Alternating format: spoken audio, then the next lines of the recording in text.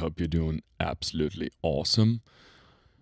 I've been getting a lot of questions about this little thing here recently. It's the Saint Rock React IR. It's an impulse response loader with like tons of different features as well. Like it's got this resonance switch. Uh, it can be switched between reactive and passive, and so on and so forth. And I'm not gonna uh, like go through all these features now. Um, it's not going to be a, review.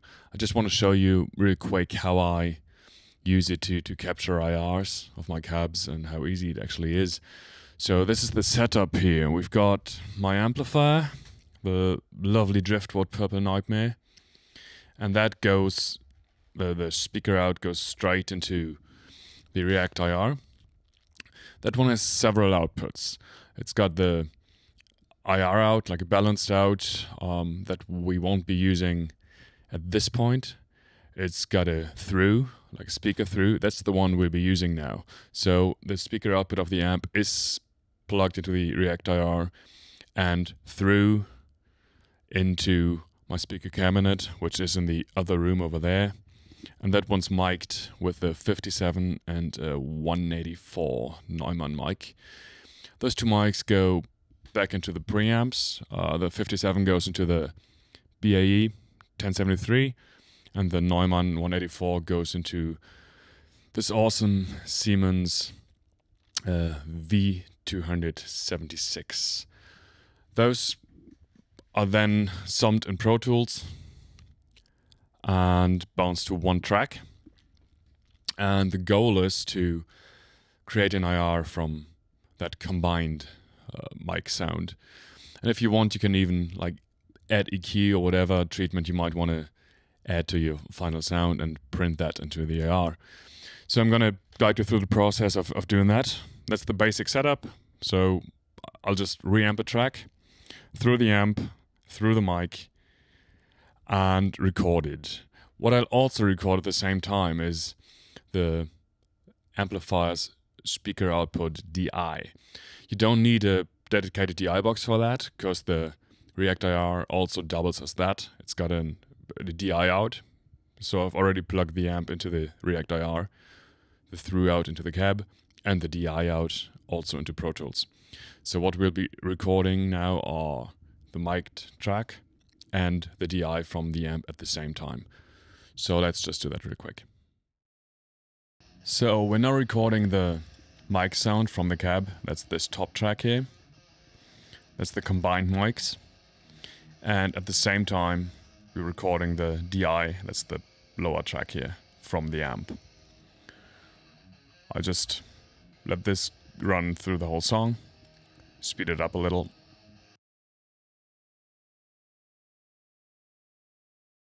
Now we've reamped the tracks. This top one is the mics, and the lower one is the DI track. This is what the mic track sounds like.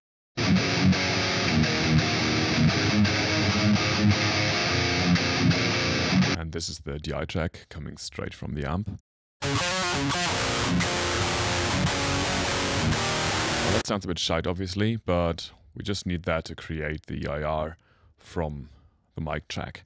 So what I'm doing now is export these tracks and then import them into React IR software. See you there. So here we are inside React IR software. This is the mixer view. And this is what we're going to be doing now. Click on Tone Matcher. This opens this Tone Matcher window. And we select the DI file that we just recorded and exported and load that into Spectrum 1. Then we load the mic file that we just recorded and load that into Spectrum 2. So that takes a second. There we go. And we're matching Spectrum 1 to Spectrum 2. Click on Match. This takes, again, a few seconds. There we go and we'll export the result as our IR file.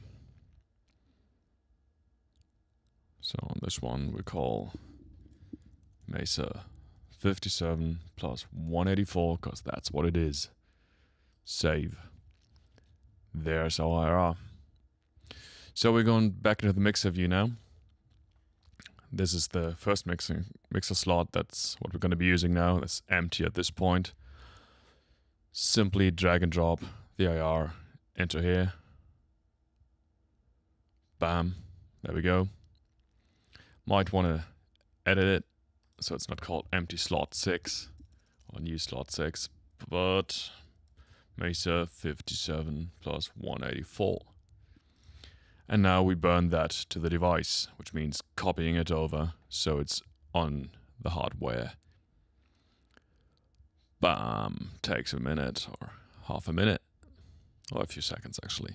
So that's our IR that we just created, copied into the React IR device. And now we're actually going to be using the other output, the balanced DI output, and record that, like reamp the same thing, record it into Pro Tools, just to compare to the mic track and see how close it gets. So back to Pro Tools. Now recording the uh, amp into React IR and the IR out. So this is not the mic now, but the impulse response we just created. Uh, the cab is actually disconnected now, and React IR is also acting as a load. I'm to speed this up for you now.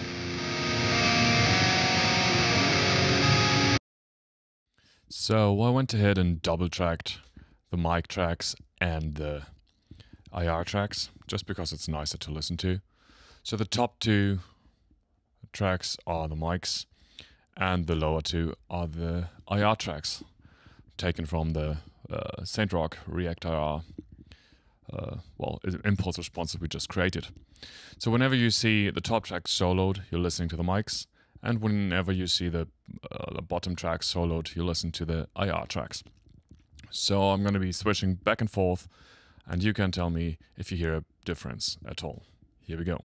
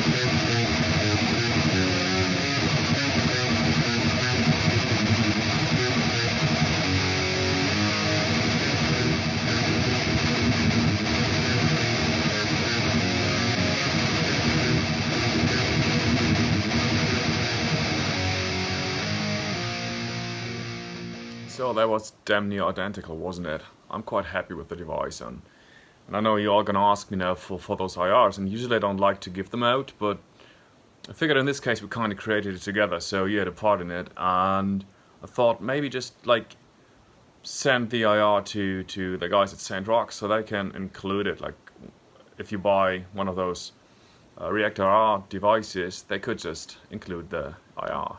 Is that a good idea? I think so. So yeah, um, check the link in the description that takes you to uh, St. Rock's shop and homepage. And if you buy one of those things, tell them that I told you that you're to get the IR with it. They don't know it yet. I just hope they're to honor my promise here and send you this IR. Only if you buy the thing though. Take care guys.